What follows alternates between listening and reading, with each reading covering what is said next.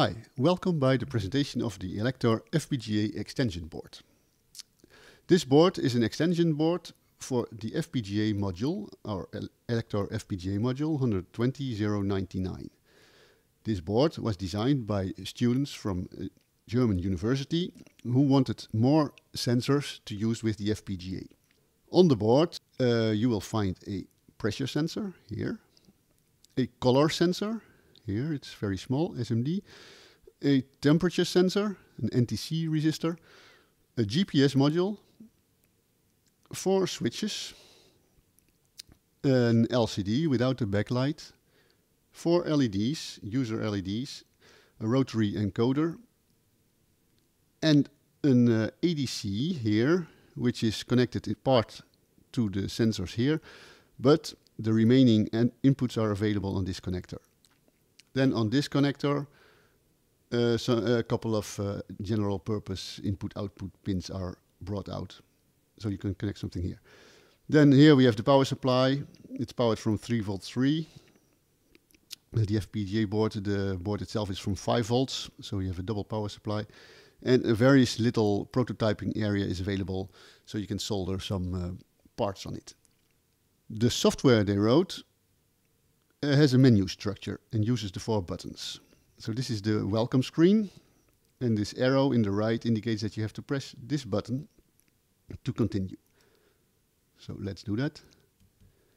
Okay, we now get a menu, GPS and two arrows left and right, GPS and ADC. When you press OK, you will enter the menu. Now we are in the ADC menu where we can uh, visualize the values of the eight channels. The ADC has eight channels. K3, K4. This is the color sensors. B, uh, the R is red, the B is blue, and the J, the G uh, is uh, green.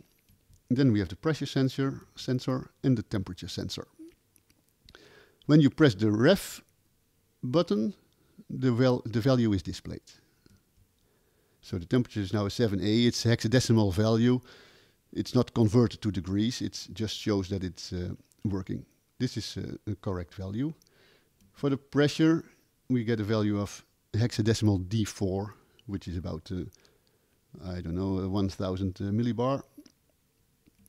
The color sensor, 6 for green, 3 for red, and 3 for blue, shows that our light is quite white, but not very strong. Actually, this sensor is not so sensitive. You need a, a good, strong light source to um, make it react.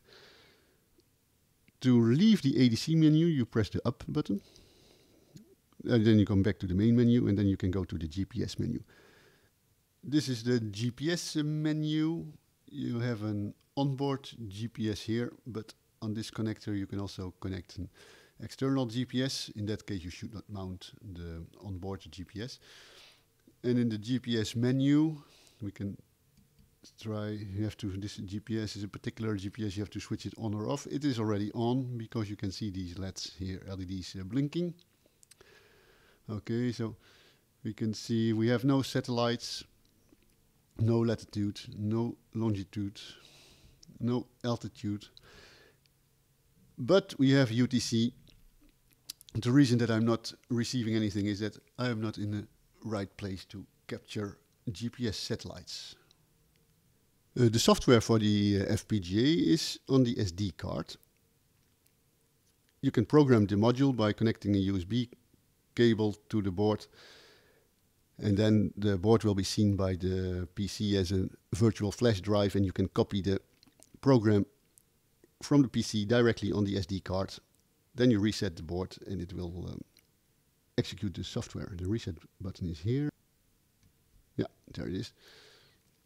Okay, that's it. Uh, thank you for watching and I wish you a lot of uh, fun with this uh, board and the experiments you can do with it.